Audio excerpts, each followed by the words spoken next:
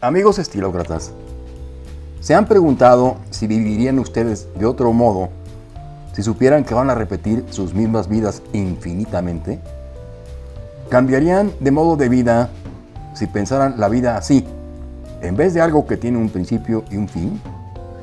Conoce la paradoja de Nietzsche y resuélvela en este vídeo de cliché. Te dejamos la liga al final.